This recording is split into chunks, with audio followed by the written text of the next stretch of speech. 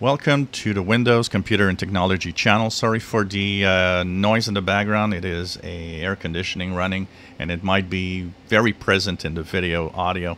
I'm trying to work on how I can adjust this. So uh, this is the new look. We're going to go quickly through the new Windows 11 build that insiders are getting. If you want to have really big details of the different things inside it, join my Windows Insider channel. I'll be talking about each feature and much more details there. Uh, the reason I'm not doing that here is because this is insider build, so it, it belongs in the insider ring or my insider channel. But when we get Windows 11 officially, of course, we're going to have all the details on the Windows channel here. But uh, for now, what's new? So, of course, everybody's familiar with, first of all, the start menu, and that is pretty much the same as it was.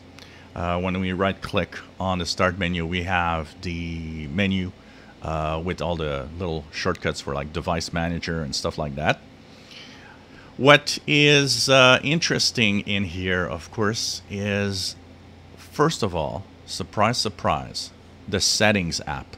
Look at the new settings app right now, which is like this. Very different from what we had.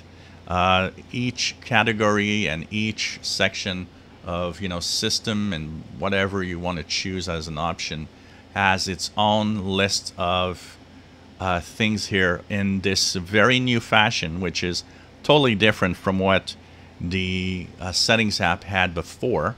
So instead of having you know uh, icons and a big screen, splash screen with all the options, it's really everything's on the left side.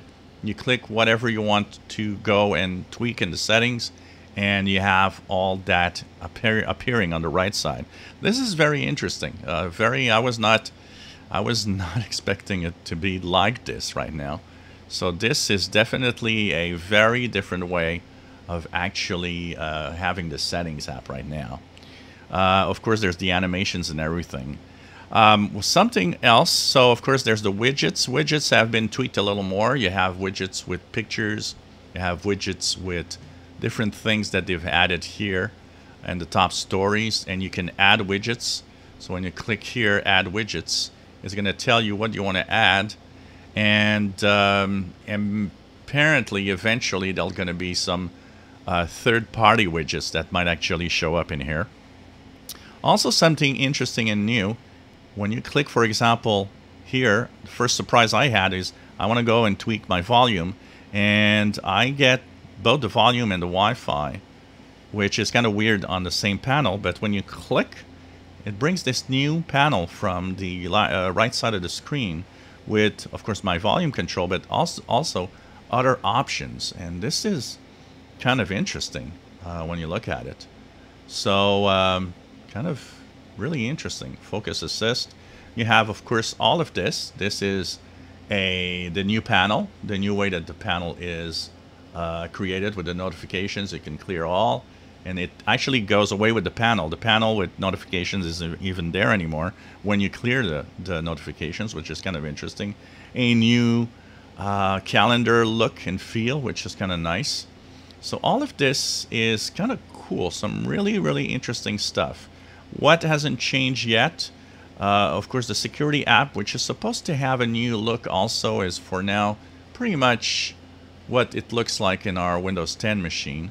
And um, the Android stuff is not there yet. The Microsoft Store, a little bit changed, but it's not what we should have eventually, apparently. Uh, even though it is, it is different. Uh, but it might be even more different than this. Uh, and of course, there's going to be the uh, famous uh, Android apps, that, that that's going to be interesting to see with the Amazon Amazon store and stuff. So this was a quick look uh, at what we have right now. If we look at the uh, Windows version, of course, WinVer will give us the uh, version of Windows 11, but it states, as you see, version 21H2 for build 22,000.51. So that's pretty much what it is look looking like right now. Uh, I might update this video with a general feel of all the Windows 11 uh, build uh, in the uh, future. But like I said, if you want to have very detailed videos of every feature, every new little thing in here. The Windows Insider channel is where you can actually look at my videos. And um, there you'll see all the stuff before everybody else. And of course, we'll be focusing on Windows 11 when it releases later this year, around Christmas, uh, early uh, next year. Uh, hope you enjoyed this look at what's available right now. If you enjoy my videos, please subscribe, give us thumbs up, and thank you for watching my videos on this channel.